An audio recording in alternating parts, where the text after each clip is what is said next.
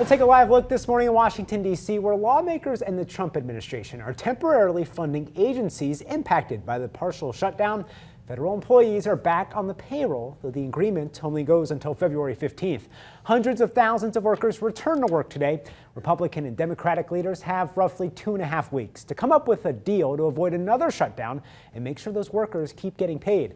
President Trump is insisting it should include money for his long promised border wall.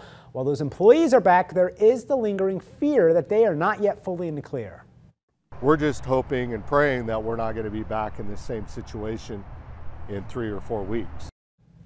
The legislation guaranteeing back pay for workers impacted by the shutdown has been signed.